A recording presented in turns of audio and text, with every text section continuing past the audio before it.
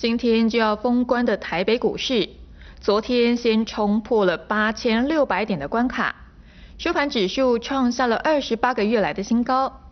加上明年一月六号开放限股当冲，财经部会首长普遍对于台股的前景表示相当乐观。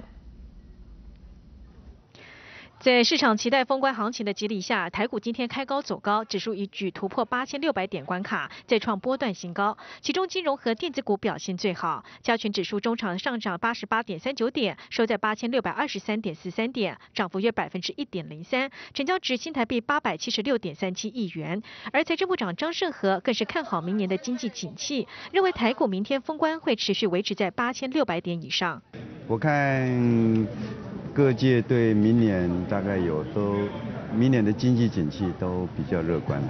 而金管会主委曾明宗也对近期股市表现相当乐观。不过他说，因为他不是分析师，所以就不便说出会到几点。产业的基本面到前三季，它的获利跟啊前年同时间比较，成长百分之五十九，表示说基本面非常好。这第一点。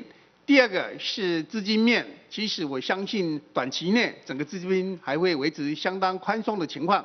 金管会在明年一月六号起开放限股当冲，外界担心市场可能只有三分钟热度，要拉抬股市成交量效果有限。但曾明宗回应，开放限股当冲的制度可让市场机制充分发挥，对台股整体交易量有一定的帮助。记者陈小青、谢奇文台北报道。